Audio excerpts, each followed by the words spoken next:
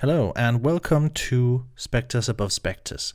Today, in this episode, I'm talking to Mikkel Krause Frantzen. We're having a great conversation about his book, Going Nowhere Slow The Aesthetics and Politics of Depression. Before we jump into it, however, I just want to ask you to check out my Patreon. It's patreon.com slash simonobirek. If you donate whatever you can, whatever you're able to, we can create a lot of cool philosophical content together.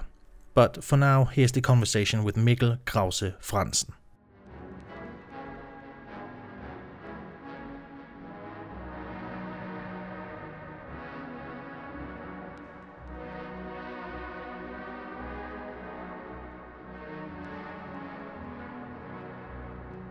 Today I'm going to interview Mikkel Krause Frantzen.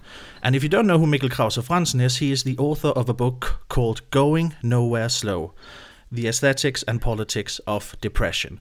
And Mikkel, thank you so much for joining me today in this discussion. Uh, thank you, Simon.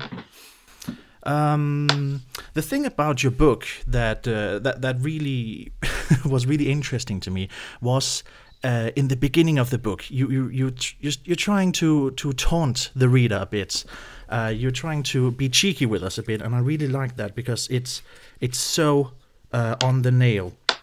In a subtitle, to one of the chapters, I'll just find it here, to the subtitle called uh, Scenographic Symptomatology, you, you, you make a parenthesis, which I really like, in which you're writing Scenographic symptomatology, or you're probably so depressed and exhausted by now that you can't be bothered to read this. Mm.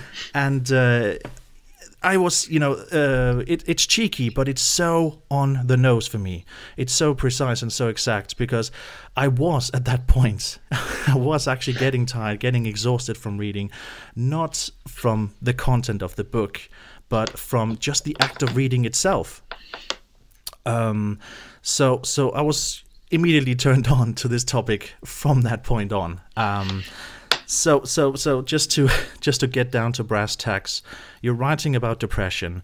And when I talk about this topic with my friends, with my family, with my uh, study buddies, etc., they have a hard time translating uh, depression from what's going on inside of your head to something going on outside, you know, in society.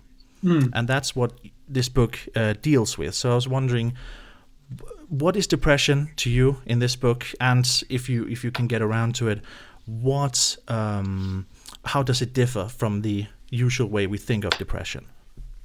Right. Um, well, I mean, to stick to your image, um, I would say that depression is both within and no, um, depression is both uh, inside and outside the in, individual. Um, so to me, depression is a psychopathology that is as political as it is personal. Um, of course, depression is an illness um, and a painful one at that that is experienced at an at an at an individual level, but it cannot be reduced to that level. Um, it is not merely a matter of chemistry. It is not merely a matter of biology or your genes. It is not merely a matter of your individual willpower or the life choices that you make, um, etc. Uh, I think that what is at stake here is also material issues, it is monetary issues, it can be societal, political, economic issues, and debt is my prime example. I mean, there are plenty of evidence suggesting or documenting, in fact, that if you are indebted or in a state of debt, um, you're much more likely to become depressed than people who are not in debt. So I would say, of course, depression is um, a painful um, individual experience, um, but it has also to do with the society we live in, the jobs that we may or may not have. Um, so there are all these different causes and reasons um, why you are depressed. Um, and these reasons and causes are, are mostly left out of the diagnostic manuals and also of mainstream psychological discourses. And I think we've become so used to, you know, thinking depression and other mental illnesses in terms of the personal or the person e- e- experiencing it.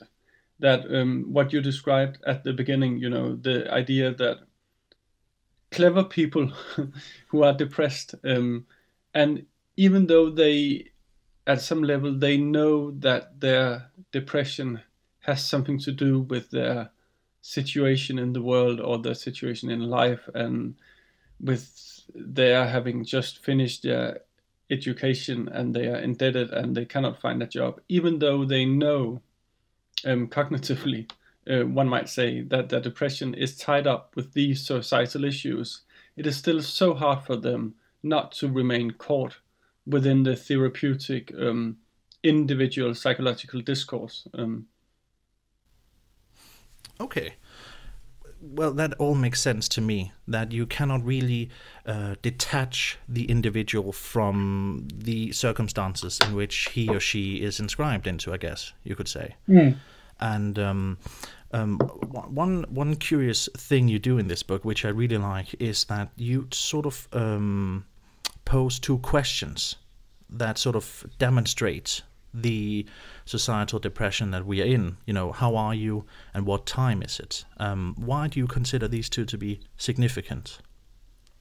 Well, um, I find them significant at an uh, phenomenological level, uh, one might say, uh, in the sense that having read a lot about depression and having talked to people who are depressed and having read a lot of uh, literary and fictional books, uh, etc., it's clear to me that one question that keeps popping up and a question that remain very difficult to answer to people who are depressed is the question of how are you doing or how are you and you can either choose to lie and say well thanks i'm fine how are you or you can actually answer the question um, honestly saying well i feel like shit um, I couldn't get out of bed this morning. I just lost my job. Um, my partner is an idiot. Whatever. Yeah. Um, um, and the other question about time or temporality, I think that's pertinent because I consider depression to be an illness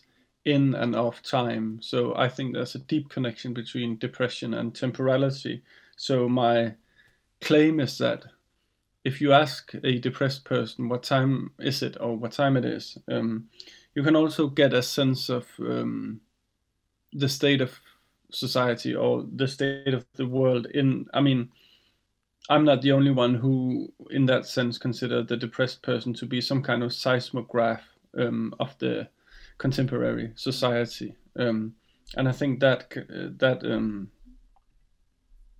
that loss of futurity that is at stake in my mind um, in depression and um, the inability to imagine the future uh, when you are depressed. I think that is symptomatic of the world that we're living in. Um, the feeling that there is no tomorrow, the feeling in depression that the seconds are just, you know, dragging themselves along. And when you look at the clock and then you look at the clock again, it is as if the time hasn't moved at all.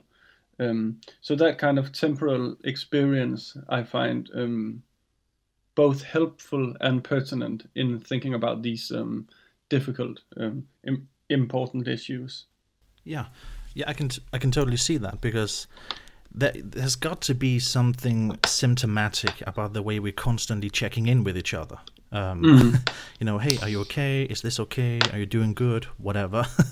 um, it, it, seems to me like a very pathological feature about our society uh, that we treat each other in this way. But um, you, you, made an interesting point. One, uh, my, my friend and I was actually talking about this uh, prior to this interview, and he, you know, I was asking him, well, how are you? You know, how are you uh, doing? And he was mm. like, I'm fine, but not really. And then we were sort mm. of talking about it, and he was like, "Well, when you say something else, then uh, then you know I'm good." When you're actually saying, "Well, life is actually pretty shit right now," you know, it seems almost like a childish provocation. Was his point? Mm. It seems like you're actually acting against the common thing to say here. It seems almost yeah. childish. Like, yeah. really but also, I mean, I've often found myself um, embarrassing people and myself really um, when answering that question um, honestly right i mean saying what you really feel i mean that can actually be a quite embarrassing thing to do and yes. i guess I mean, the thing is um, that there's also this hidden expectation um, inside that question, that seemingly innocent question. There is this expectation that you are supposed to be feeling great, that you're supposed to be happy, yeah. that you're supposed to be, you know, just having the time of your life when most of us, most of the time, are really not. Yeah, uh, yeah, I completely agree. Um, the, the other thing, though, that's that's something I, I, find. You know, what time is it? And the the the uh, temporality of depression that seems to be a tricky one for people to to understand as well, because you have a quote in here somewhere at the beginning of the book in which you deem depression uh, uh, a sort of a chronopathology. Mm. I really like that. I really like that concept. Uh, but I was wondering if you could sort of expand on the temporality of depression, um, because that seems to be a struggling point for a lot of people, and myself included, I guess. Hmm. Well, I mean, the first thing to note, I guess, is that there's been a proud tendency within psychology, and I think going back to Sigmund Freud, at least, um, a proud tradition and influential tradition of thinking about temporality in depression and in melancholy as something that is mostly related to the past. I mean, you have lost something or someone, and then you grieve or you you mourn it that loss, and if you are kind of stuck in that loss, it becomes pathological, and then you are in the transition from grieving to becoming depressed. Um, that's kind of the uh, Freudian framework. And was, what I was finding in the very beginning of my research period or project um, was that it struck me that depression maybe it had more to do with the future than the past um, and the loss of the future, as I also mentioned before, or the loss of the ability to imagine the future, because of course that loss is as subjective as it is objective and it is as imaginary as it is real, right? I mean, of course, the future is not objectively lost, but that's what you feel like.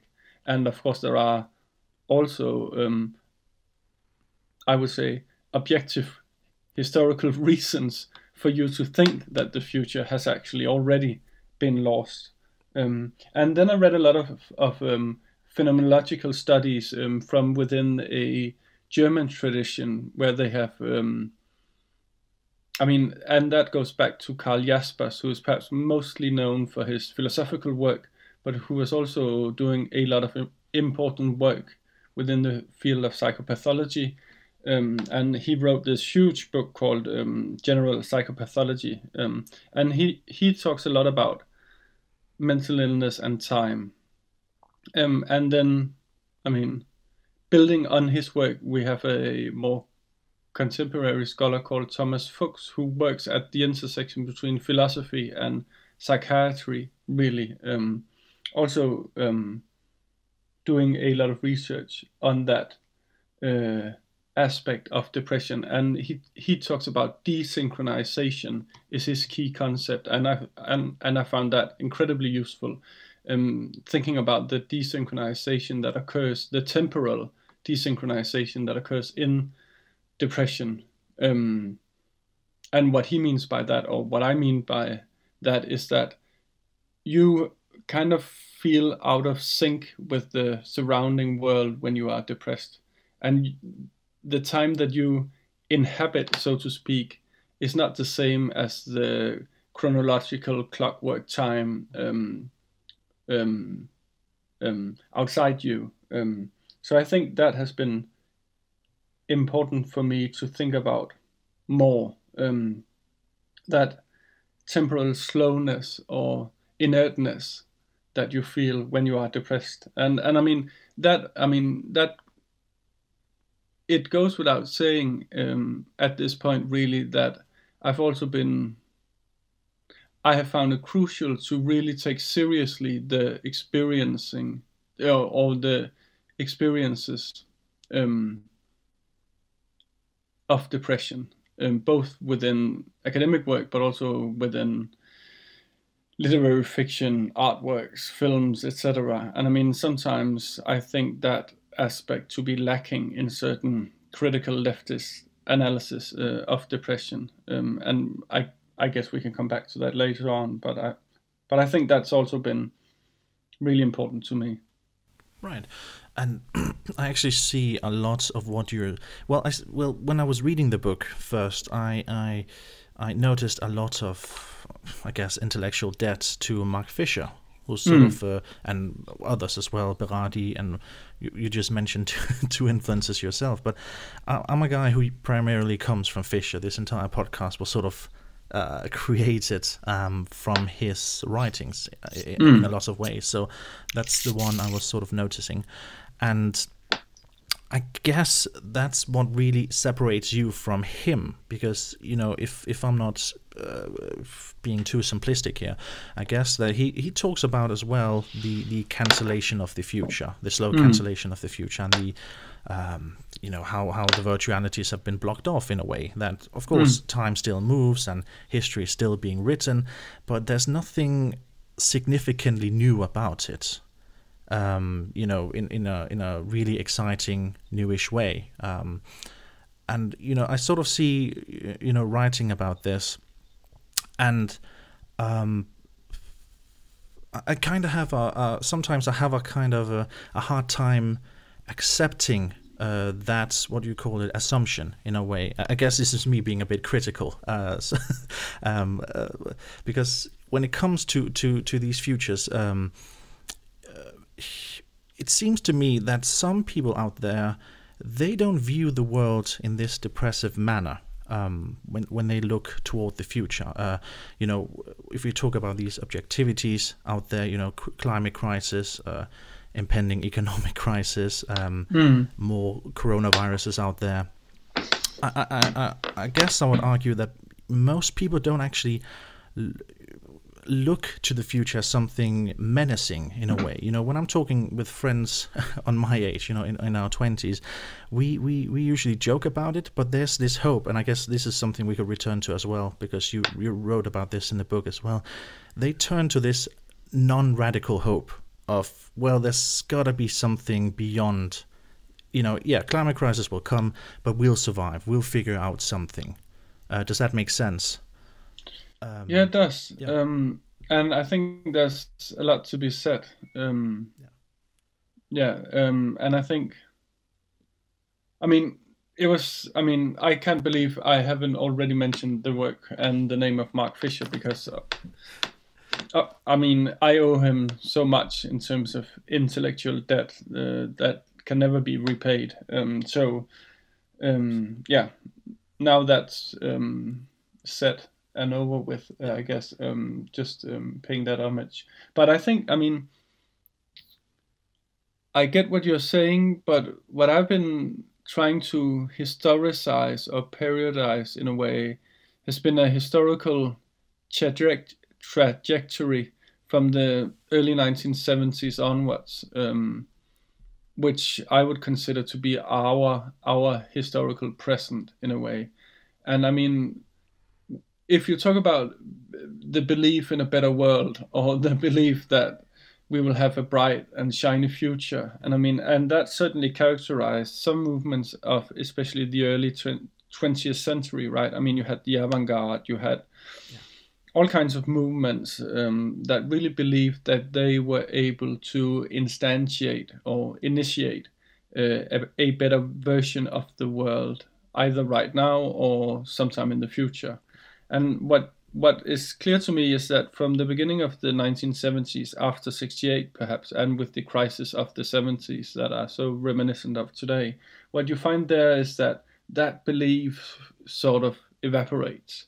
And I mean, Jimmy Carter held this famous crisis of confidence speech in 1979, where he talked about that the young American generation, for the first time in American history, they didn't believe that their future would be better than their present and that they would be the first generation in history that were actually not better off than the previous one. And I think there's just been released some data a year or two ago that actually documented um, within a US context that uh, that that is actually now the truth. That if you are born now or young today, you are probably worse off than your parents were. Yeah, yeah, definitely. And I think, I mean, that are these are objective historical economic facts to a certain extent but then there's of course also the spirit or the you know the general atmosphere surrounding and accompanying those facts that are and this atmosphere um, is as important to analyze and understand uh, as the facts themselves um, and uh, of course it's not the case that everyone is feeling like the future that there will be no tomorrow I mean, and of course, we are not all depressed. We are not equally depressed. Mm. Um, but what I think Fisher is trying to say, uh, or wanting to say, and what I am also in his vein, so to speak, trying to say, is that when you are depressed, then you have this feeling, and that is, you know, not ungrounded in fact. Yeah, yeah, yeah, I, yeah. It makes sense. Um, I guess one thing I'll sort of challenge you on, and then we'll move on because this is really an interesting thing. I, I you know, this, um, you know, this explanation of the broken promise. You know, we were promised mm. something, and then that fell through, and now we create ontological music and are depressed. Mm. Or, you know, it's, it's just something about it. Um, I'm trying to square it with like a Deleuze-Guattarian desire in a way, mm. um, because, you know you know they they were notable uh, notably um, post ideological so they you know desire expands. So whenever something is sort of being imposed on us in a way you know we're actually we're actually talking about not a lack but actually an expansion of desire mm. so when i see the when i see the world um, you know I, I i think we have to revert back to the question they asked at the beginning of Anti-Oedipus. Why do people desire their own suppression as if it was their liberation or salvation in some way? Mm. And, you know, I was just wondering if you could put some words on that for the Deleuze out there. Well, it's it's funny because I, I used to be quite Deleuzian. That was my first real, you know, fandom. I guess it was a course I had in Germany uh, with one of his um, English translators or Australian actually, Paul Patton he was oh. called, and I was really into Deleuze at that point. Um, yeah. And then I've sort of you know not left because that's a stupid thing to do, and who cares anyway. Yeah, yeah, um, but I mean, I think that Franco Bifo Berardi, who I also have my disagreements disagreements with, um, certainly much more than I do with Fisher, um, because I think Fisher is much more attuned to the real suffering of people who are depressed in a way that Bifo never uh, has been and never will be. But at one in one of his books, and I don't remember which one, um, he writes about how depression is sort of you know a black hole in the edifice, the philosophical edifice of Deleuze and Guattari. Yeah. And they have been able to conceptualize so many different pathologies, and of course, most famously, schizophrenia, but they have never really addressed the topic of depression. And maybe that's because he writes that it falls outside um, the whole way of thinking, that they cannot actually, um, within, uh, with their conceptual apparatus, they cannot account for depression um, in a way. But what he then does, and that's actually quite, quite um, um, original, I, I would say, is that then he goes on to discuss, I think it's the end of What is Philosophy, um, yeah. the last book. And he says that when they're talking about, I think there's a passage there about black holes or something like that. And they are discussing something completely different. And I think they're talking about old age and, you know, yeah, yeah. and Bifo then goes on to say, this is where they are actually describing depression and I think he's totally right in a way, and there's a lot to look into. Um, I had a passage about that this in my dissertation, and I cannot remember if it found its way through to the uh, book version. Um, but I mean, that's an interesting discussion. Um, but yeah, the question of desire and depression is, of course, what is at stake here, right? And I mean, yeah, yeah. Um, yeah, because well, Mark Fisher has this uh, quote. Uh, I'll never forget it. I unfortunately forgot where, uh, in which blog post he was he was writing, but he said that Deleuze and Guattari was right in everything, un- until those points where they disagreed with Lacan. Um, mm. so, so, you know, there's just uh, I was just sort of uh, making sense of the.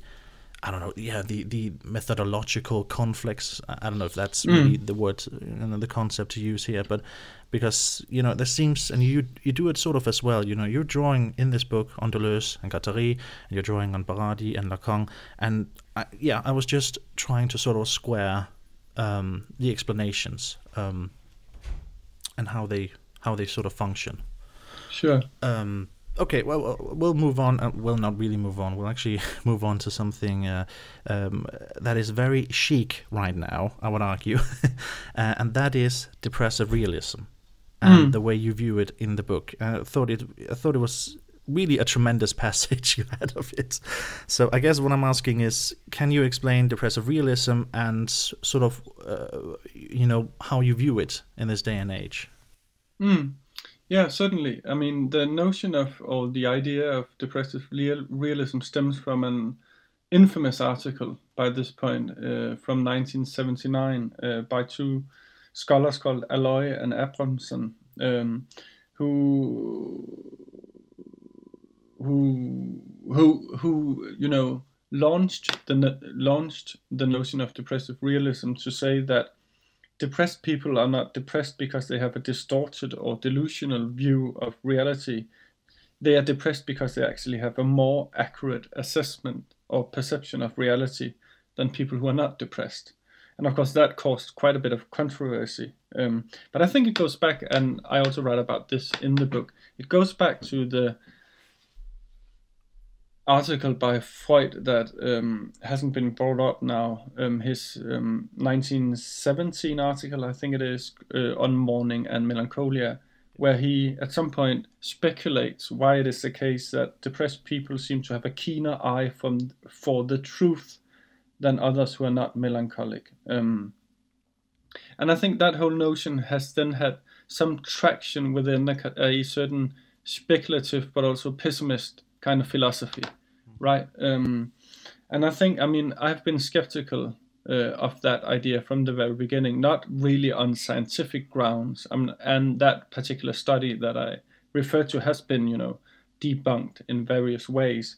But I think it's much more on political grounds that I disagree with this notion, but also on the, I mean, in terms of trying to understand what goes on in depression, I think the notion of depressive realism tends to romanticize depression in a way that I'm not comfortable with. And of course, that not only goes back to Freud, that also goes back to Aristotle, mm-hmm. who who established this quite strong connection between the genius, the male genius, or the creative mind, and then you know the mad and melancholic um, disposition in a way. And I think, I mean, what Mark Fisher is really good at is showing how depressive realism or the realism that you uh, subscribe to when you are depressed depressed that that kind of realism, that depressive realism, actually goes hand in hand with what he calls capitalist realism.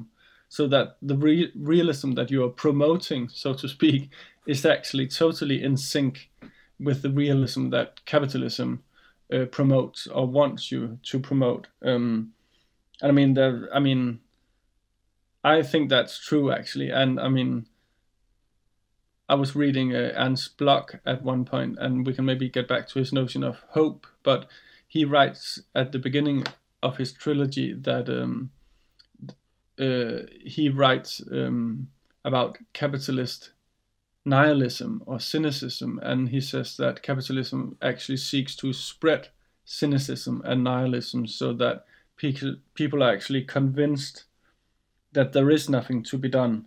Um, and of course, I mean, that said, of course, um, contemporary ideologies of happiness and positivity and optimism, they are all stupid. They all need to be criticized. I mean, that goes without saying. But I think that's not really an, um, enough, and it also doesn't really necessitate the notion of depressive realism.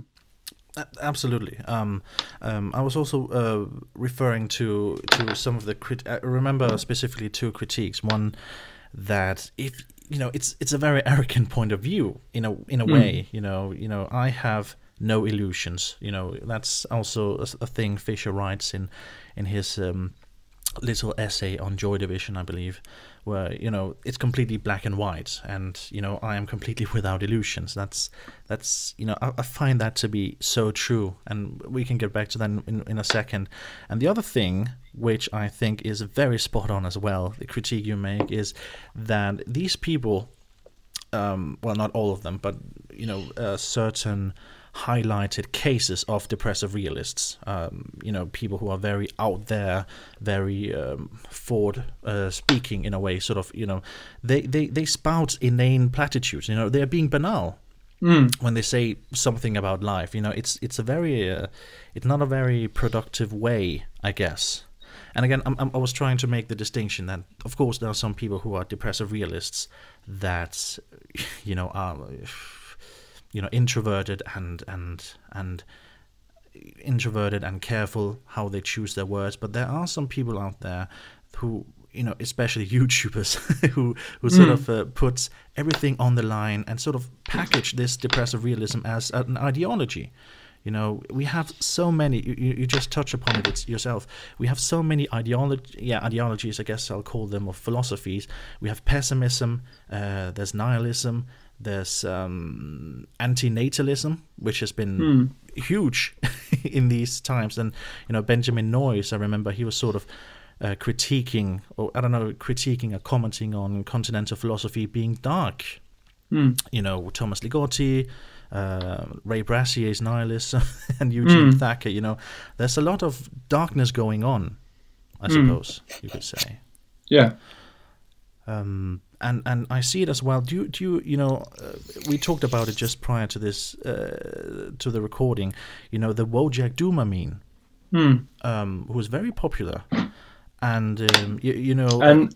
And do all your listeners know what that is? You reckon, or should you just explain that? Yeah, well, I'll, I'll make the quick explanation, but I okay. find that he's very, he's actually very popular because he's he's okay. part of the he's part of the Wojak uh, character who has a sure. distinct outlook, who is very yeah. I guess people could Google him, but he's always bald, but usually always portrayed as being bald and then being white skinned, etc.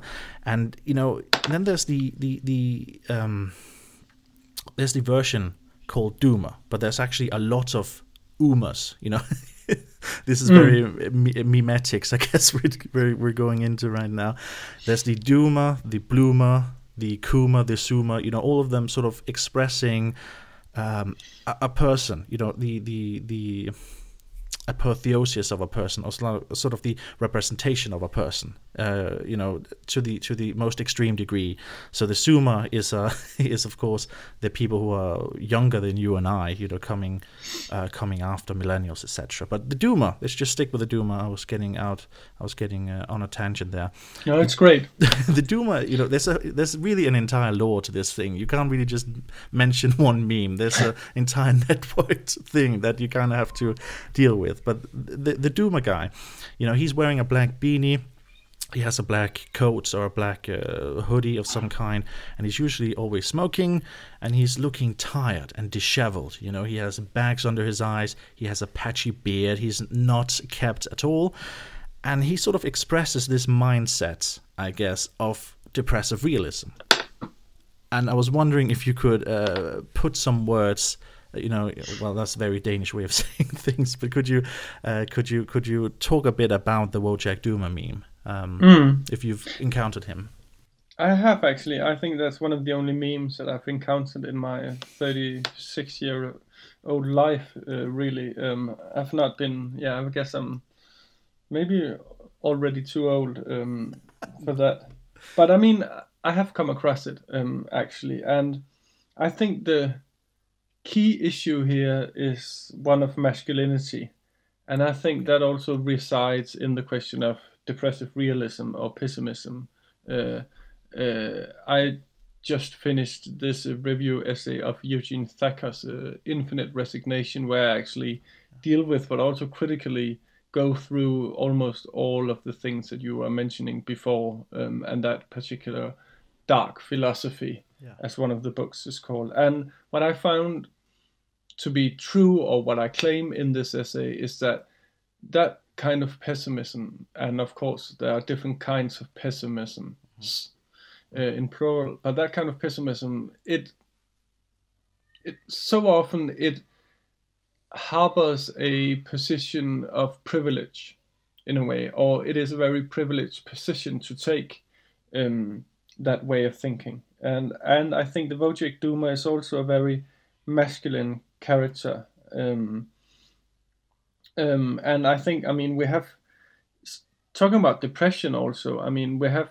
a ratio that is, I guess, still around two to one in the favor of females compared to males. So there are twice as many women who are diagnosed with depression than men. Yeah. And of course, there are a lot of reasons for this. Um, sort of, you know, men don't go to the doctor and all this stupid shit. Um, uh, but then when you look at the rates of suicides, it's almost completely reversed. And I think we have so many cases, uh, also just from recent years, of suicides. Jerome Rogers, Daniel Desnoyers, all kinds of, you know, they have been reported on in the news where people who are just, you know, having a a unpaid uh, what's that called uh, um, uh, parkeringsbillet. Uh, it's called in Danish. Park, um, parking ticket. parking ticket, of Yeah, course, or yeah. a traffic fine on twenty dollars or ten quid or whatever, Yeah. and then you cannot pay it, and there's some time passes, and then you're just so desperate at it and and indebted that you end up killing yourself. Um, so I think the question of suicide is also really interesting. Absolutely. And I think, I mean, what I also found when I was looking into the Doomer character was that Ryan Gosling's character from Blade Runner 2049 is often mentioned as well as this, you know. Oh, yeah. I could, yeah, yeah, I could see that. Yeah. Yeah. And but what I always come back to is Fight Club. Mm-hmm. Um, and Tyler Durden's famous speech in Fight Club. I don't know if you remember that or the listeners, but where he talks about that Tyler and all of his Fight Club gang members, they are the middle children of history, he says. They have no purpose or place. And I'm just quoting now, I have it right here. Okay. They, so I'll just read it out. Yeah. yeah. We have no great war, no great depression. Our great war is the spiritual war. Our great depression is our lives. We have all been raised on television to believe that one day we would all be millionaires and movie gods and rock stars, but we won't. We are slowly learning that fact and we're very, very pissed off. Boom. And of course, I mean, that is also really interesting in terms of 4chan and 8chan and, you know, uh, toxic, fragile masculinity. Um, yeah, so I think, I mean, and of course, the question is also when does depression lead to implosion and when does it lead to explosion, so to speak? Um, when I wrote a Danish version, uh, a book version of my PhD, I, I I had a chapter on this question and the question of suicides, but also the cases, the extremely interesting cases of depressed people who, or mentally ill people who are turning their depression outwards, so to speak. So they kill themselves, but they take a lot of people people down with them. Tragically enough, whether that is um, school shooters, uh, the Virginia Tech school shooter, Yeah. Or whether it's the German pilot uh, Andreas Lubitz. I think it was in 2014 where he crashed with his Yeah. airplane. Um, so we have these murderous suicides. We have a lot of young men who feel that they have been robbed of their future and are thus entitled to act out, but who are still fucking depressed Yeah. and who have a history with mental illness. Um, and then, of course, we also have, and I'm just, you know, going on here, but I think we also have a the idea, the ideological idea of manning up as a solution or a cure to depression, um, which of course brings uh, Jordan Peterson uh, into the equation in a way. Um, Right. And I think one of the contrasts to the doomer is the go-getter. I guess you're familiar with him, but No, But- actually, no. okay, you should definitely look into that. But I mean, he is pretty much the same picture, but someone has just replaced a lot of the key words and sentences Ah, that okay. surrounds the Doomer. And the Go-Getters sentences, they go like something like, what is done is done, there's only four words. And it goes like something like, in control of his own destiny. Yeah. And enough is enough. And he has a plan. So he's really manning up Yeah, he's, yeah. and not just you know smoking cigarettes in his you know baggy jeans and black clothes and etc so yeah there's a lot of issues here that are yeah incredibly exciting to talk about Absolutely. You actually, well, one thing is there's actually a Doomerette. I don't know if you've noticed Oh. her. Yeah, that's actually a Yeah, okay. version of the Doomer. i thought that was impossible in a way Yeah, yeah. No, okay no. it isn't it isn't, and she's actually kind of cute. I don't know if I should say that. I probably shouldn't say that, but you know, if you- if you ever look her up, you know, she looks you know attractive, and you actually see those two together, and you're kind of like, ah, you know, even a meme can find love, I guess. Um, yeah uh, the the other thing, you know, because you're really touching upon something very topical right now, and that's uh, the whole men's rights, uh, the manosphere, I guess they call it as well. yeah Within that, uh, you know, they have the pill speak. Do you know the pill speak? no Uh, they they sort of take the example from Matrix. oh yeah sure yeah, Okay, you know the red pill. You know, Yeah. if, you, if you're, you know, I have to be careful because some of the people listening are actually accelerationists from the right, so I kind of have to be careful. But okay you know, you know, they basically um, impose this misogynistic way of looking at the world. You know, females or you know, fem fem feminoids, I believe they call them. You know, the Stacys out there, and that's my point. There's some people who have, uh, you know, the incels. mm, yeah Uh, exactly They have they have taken the the black pill. There's something called you can be black pilled now.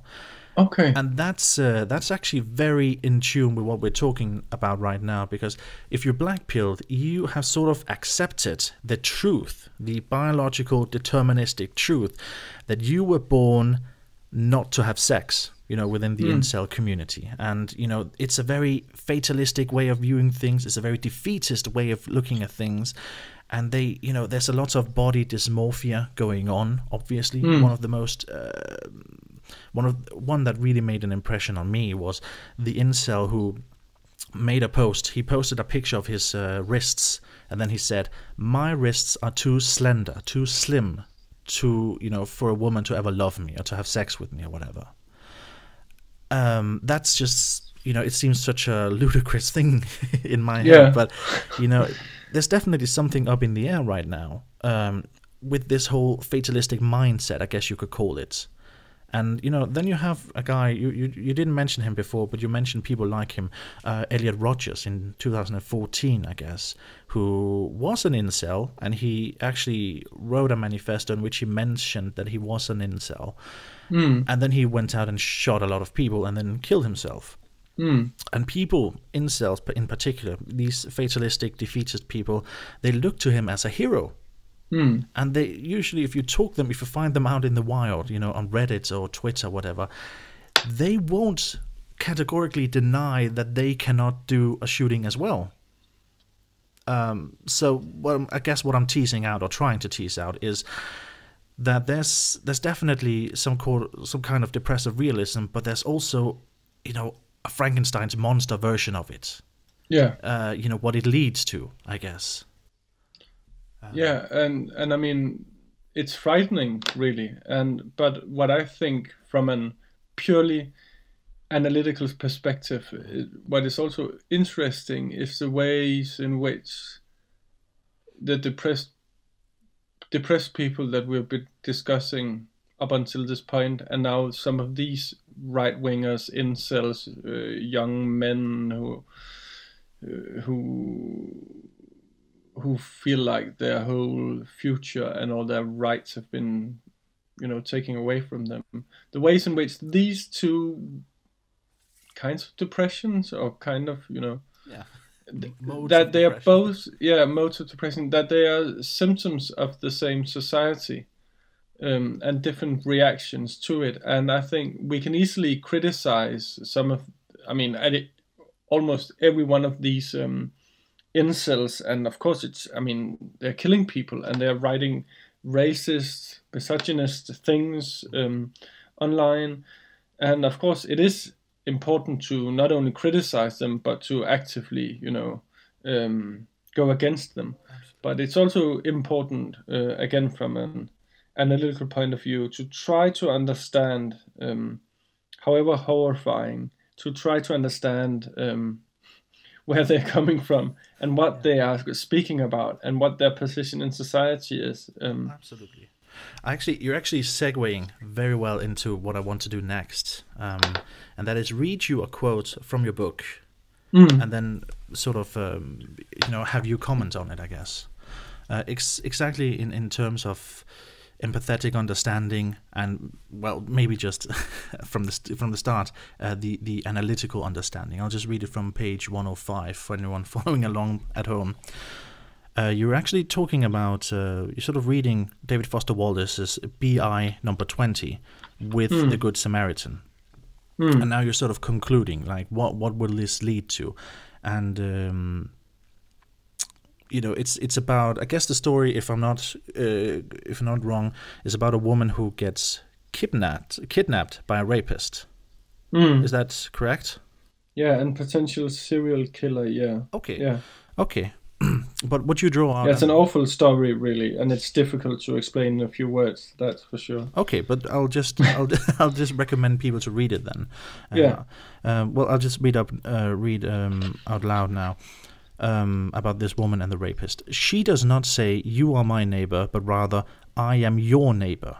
The difference is radical, since she does not make him into an object of her hippie like, New Age ish love, but presupposes the capacity for love in him, thereby making her into the object of his potential love. More, more accurately, she makes herself into the thou that is so unfamiliar and frightening to the rapist. And I guess, you know, when it comes to depression, I believe you write it in the book somewhere as well that the loss of the future is also the loss of the other. Um, mm. No, I, I know this this is a lot to take in, but could you sort of um, bring us up to speed? Like, what do you mean? Like, what can you tell from this situation here? What can you make out of it? Well, I think I mean what I want to say actually uh, to be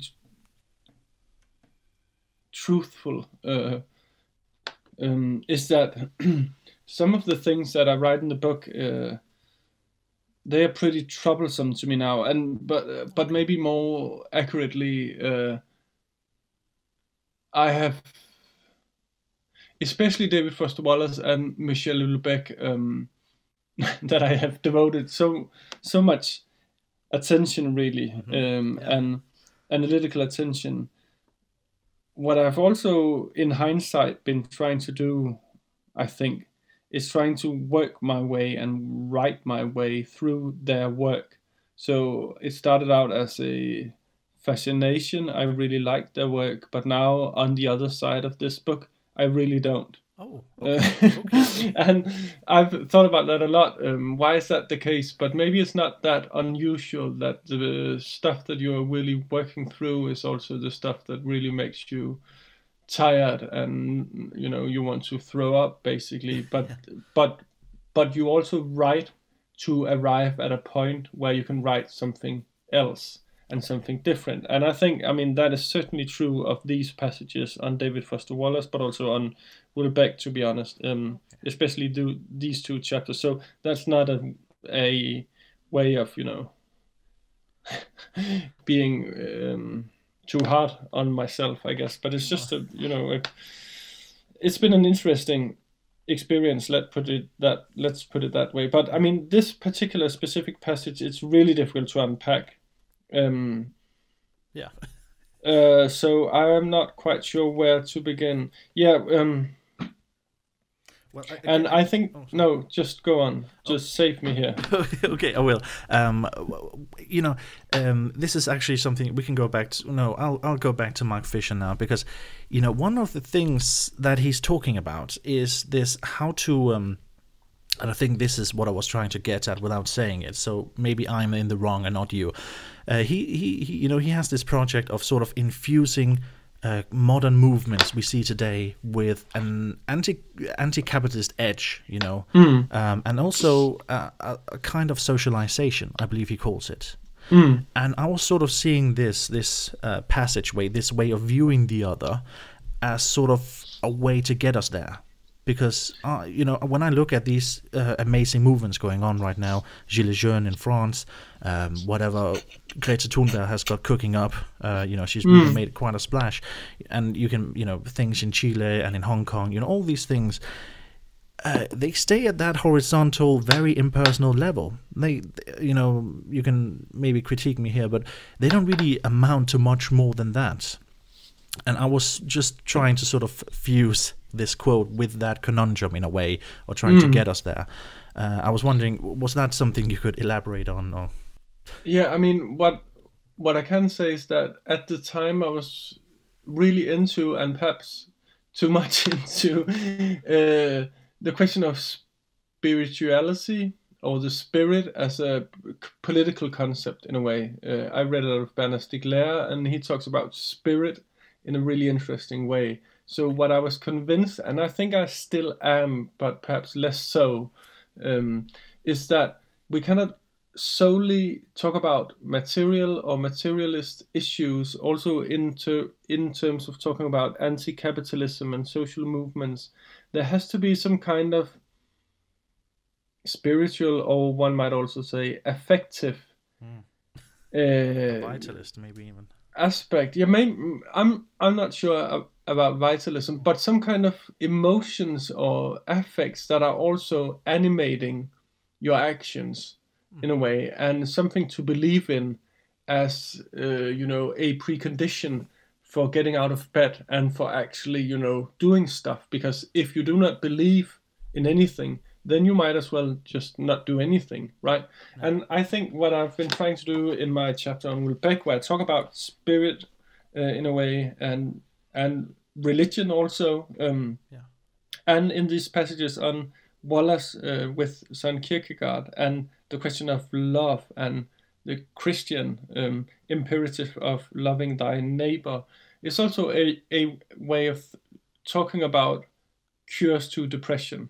And in Wallace, that often gets called empathy. Hmm. And I have been since then skeptical of the notion of empathy, preferring instead to talk about care as a concept. I think that's much more helpful. And I think Okay, yeah. one might also translate this passage into a question of care, caring for the other or caring for the others. And what I do believe that this passage tries to say is that you shouldn't care about other people only if and when they are nice people. Hmm.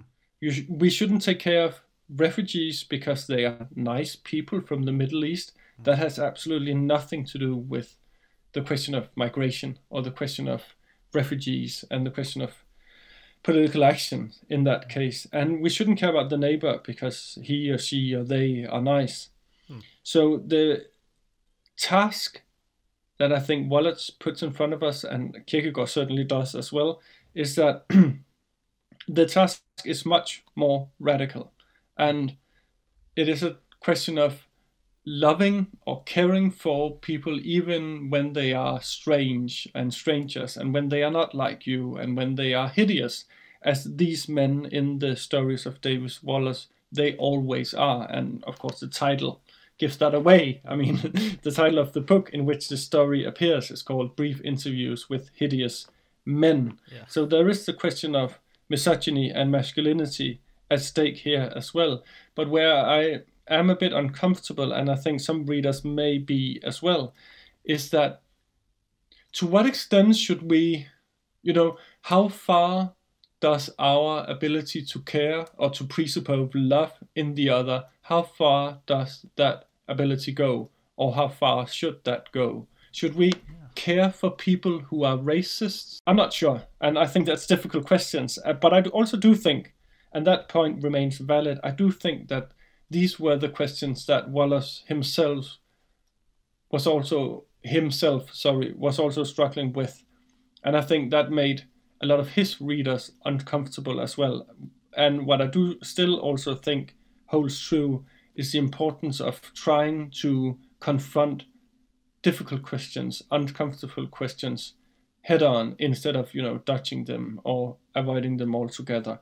I think this is a way of not answering your question, but maybe still answering it in some way. Yeah, definitely. Um, I guess I am not really an analyst yet. I guess I'm I'm trying to get there someday, and uh, that that allows me to be very overtly political in my in my questions. Um, you know, um, I just uh, yeah, I, I, think that's just what that's why I want those those um, tricky tricky questions and those tricky answers because there's no easy answer to any of this. No. Um, one thing I just wanted to to to ask you about is um, the current climate we are in today. Uh, mm. I'll just move on very very quickly, and very elegantly uh, into the impact of the coronavirus. Um, mm. We have seen during this uh, trying times a lot of death, a lot of people uh, getting fired, uh, a lot of unfortunate no unfortunate disgusting ways of talking about other people but we have also seen these amazing displays of community um, mm. you know in denmark we have these uh, uh, you know people going and i guess this is not only a danish phenomenon i guess it's it's all over all around the world where people would gather on their balconies and then sing to each other and then they mm. would organize it through facebook and there's also these facebook groups where they gather people around who help out the uh, the, the persons who are infected with the coronavirus mm. And it just seems to me that people are going out of their way to you know almost be with other people. And uh, you know there's also the whole thing about social distancing. So mm. with all of these the, all of these uh, these things um, how do you view you know in, in in conjunction with depression how do you view the current coronavirus i guess i would say i'd ask you? Yeah i think we have different topics here uh, i think the first one is that of course the relation between depression is and the coronavirus is not an immediate or an obvious one. Um, but what I do think is clear, and I think there's also been some data um, evidencing this, um, is that the current crisis, if we can even go so, and and I do believe that it is a crisis. It is an ecological and an economic crisis, and it is a social crisis, and it is a also a healthcare crisis, but it is also a crisis of mental health.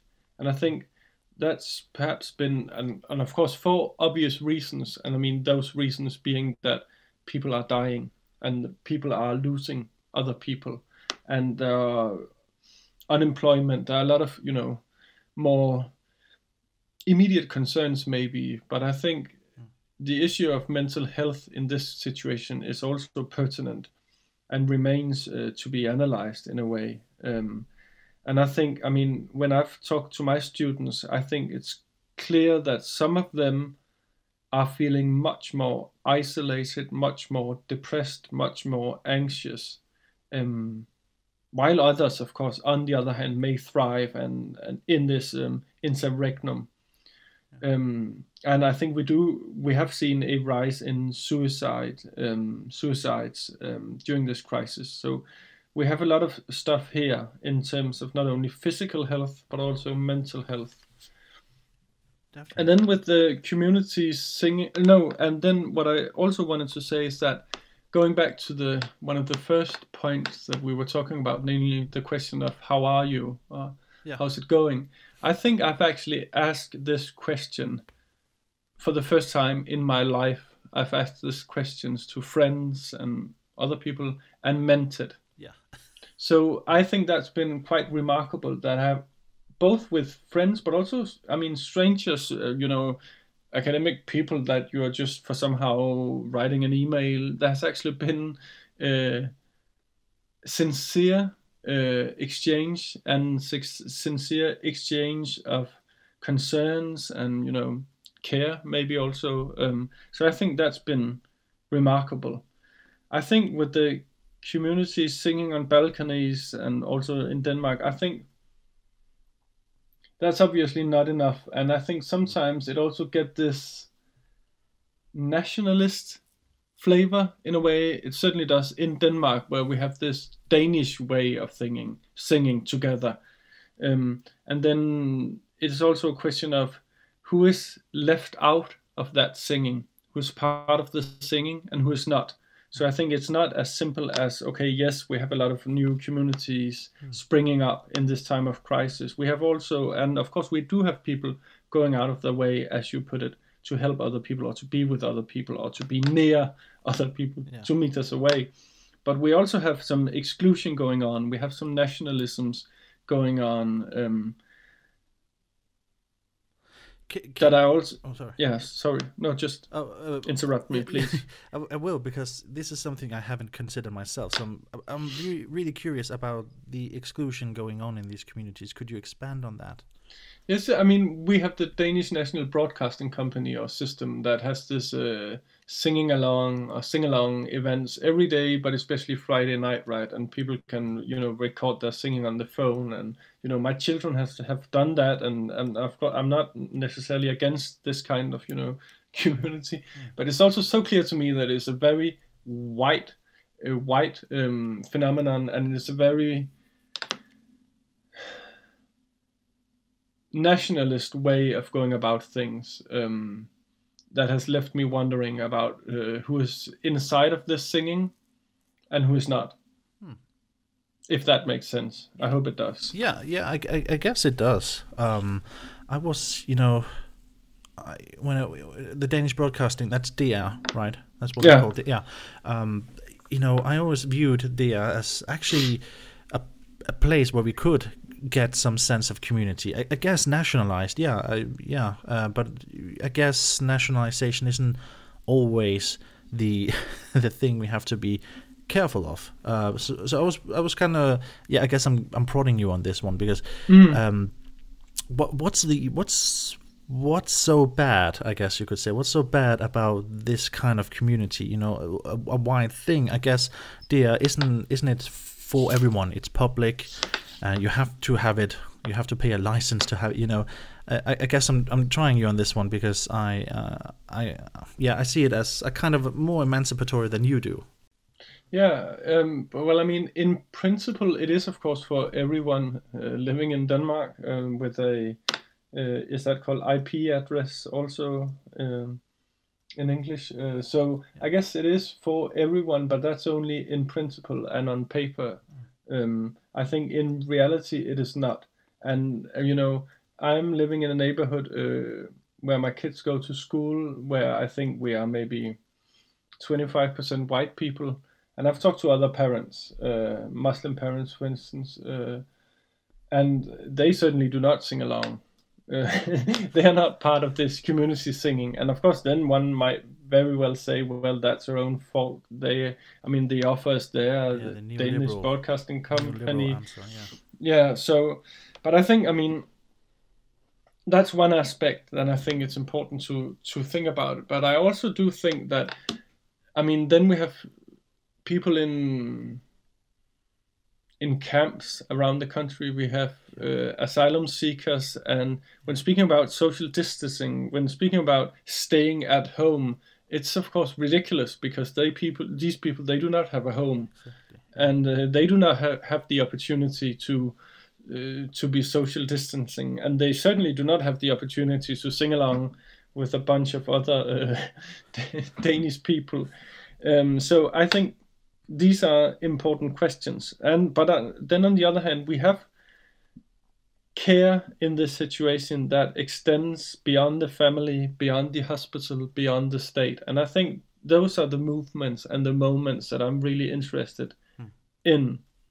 Yeah, yeah. while at, while while at the same time going through an an extended crisis of care um, that is always already on the brink of collapse if it has not in fact collapsed already. So it is it is of course this. Um, paradoxical situation. Okay, well, moving on from that, I, I, I will just read you a quote from this book. You've already mentioned it, we've already been talking about it, but I feel like this quote perfectly. Um, let me just see if I can find it. Yeah, it perfectly sort of encapsulates the issue one might face when, when reading this book. And I'll just read this quote to you. Uh, and this is, yeah, this is this is as well from from the Wallace uh, chapter, so you may disagree with it, but depression saturates being. It is a feeling which takes complete possession of the human being that experiences it. In that sense, the allusion to the physical concept of black holes is not out of place. Since there's no bottom to a black hole, it simply engulfs you, rips you further and further apart in the dead mass of darkness where the pull of gravity is so strong that even light cannot escape. It reflects no light. When things sound that um, uh, menacing and so, I guess I would say totalizing as well, how on mm. earth do we cure ourselves of depression? yeah, I think, I mean, maybe going back, and since we are both uh, uh, uh, from Denmark, mm. um, we can go back to Søren Kierkegaard to begin with and, and say that when he talks about hope, and I will get back to why this is relevant, when, when he talks about hope, he says that the real task of hope does not arise in a situation in a situation filled with light. It does not arise in a situation in a situation where everything is just fine and dandy. The real task and the real paradoxical, radical task of hope only, um, yeah, arises in a situation that seems objectively hopeless. That is where we really need to be able to hope. And I think, I mean, I think there are two steps in this book. The first one is to present an, an analysis of depression and by proxy of contemporary society and the political economy that is accurate and thus also dark. Um, there is no question to my mind that things are really not going that great, that we are in a state of deep economic, ecological, and psychological crisis. Um, but that doesn't mean that there is no cure and that there is no solution to the problem. So I think that's an important first step, but then we need to take a step more. And some people they don't take that first step. They just go to the second one saying, "Well, everything is fine. We should just stay positive. Things are great." But there are also some people who stay in that first one saying, "Well, there's no light. It's only shit and dark and whatever else you can imagine." Um, so I think okay, we have a situation in which the economic ecological crisis are only getting worse by the day, even if the emissions uh, currently are you know falling because of you know the lack of air traffic and the lack of uh, uh, the use of oil, etc. Um, okay, I kind of lost the thread. No, and we have a situation in which in which more and more people are becoming or diagnosed with depression. Um, and I think so. How do we proceed from here? Um, I think the cure is care, uh, to put it into a slogan. Uh, that cure is healthcare. Also, going back to your point about national healthcare, of course, of course, it's a good thing to have a welfare system like the Danish one compared to the one in the US. Yeah. There's no question about it. Definitely, it, yeah. It offers people the up the opportunity to actually get treated for their various illnesses. Mm. Having said that, it's clear to me that it's also not enough and that the care you are offered within the welfare system is not enough. Mm. So I think we need care that extends beyond the hospital and the state and the family, but also extends beyond the dominant forms of therapy, cognitive therapy, and positive psychology.